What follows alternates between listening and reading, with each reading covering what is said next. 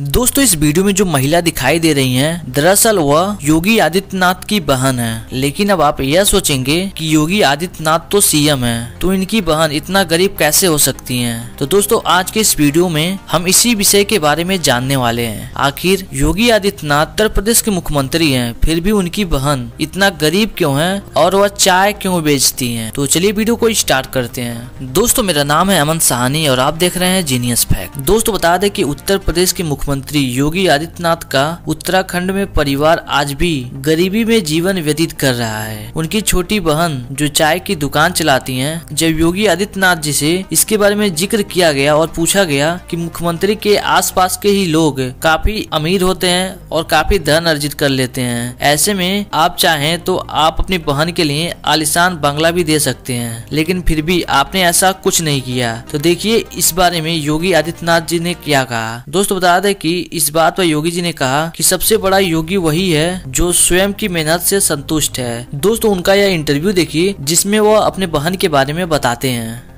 योगी के मुख्यमंत्री बनने के बाद कई लोग कहते थे कि आपको शर्म नहीं आती, आप मुख्यमंत्री की बहन है और बहन होकर आप चाय की दुकान चलाती हैं, इन हालतों में रहती हैं। मैं उनको एक ही बात कहूँगी, मैं गरीब हूँ, ये मेरा नसीब है। शर्म तब आनी चाहिए जब आप कोई गंदा काम कर रहे हो किसी के हक का छीन कर खा रहे हो। मैं तो मेहनत करके अपनी गुजर बसर करती हूँ। हाँ, ठीक बात है। मैं इसलिए पूछ रही हूँ सर क्योंकि आमतौर पर लोग समझते हैं ना कि चीफ मिनिस्टर हो या फिर सांसद हो विधायक हो इनके इर्द गिर्द लोग जो हैं इतने धनी हो जाते हैं। और फिर सार्वजनिक जीवन में इसलिए आते हैं कि जो धन कमा चुके हैं, उसे प्रोटेक्शन के लिए। और एक ये इंटरव्यू है आपकी बहन का। देखिए, व्यक्ति को कभी भी धन और वैभव संतुष्टि नहीं दे सकती है। और मुझे लगता है कि सबसे बड़ा योगी वह है जो स्वयं की मेहनत से संतुष्ट है। स्वयं के परिश्रम से संतुष्ट है। दूसरों की मेहनत से कुछ प्राप्त करना और फिर उसको छीन लेना। ये तो डकैती है।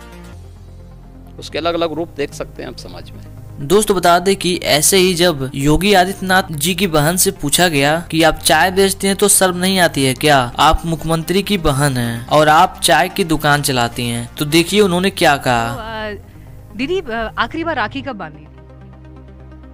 राखी याद भी कहाँ है? अब क्या पता कब बांधे होगी। अब तो भेज देते हैं हम बस अच्छा भेजती है। राखी हाँ, भेज दे भेज देते हैं यहाँ से। हम्म। बस बाकी। लास्ट बातचीत कब हुई थी महाराज जी से आपकी? लास्ट बातचीत हुई थी जिस समय चुनाव हो रहे थे उस समय। दोस्तों उम्मीद करते हैं छोटी सी वीडियो आपको पसंद आई होगी। मिलते नेक्स्ट वीडियो में ऐसे इन्फॉर्मेटिव वीडियो के साथ। तब तक के लिए गुड बाय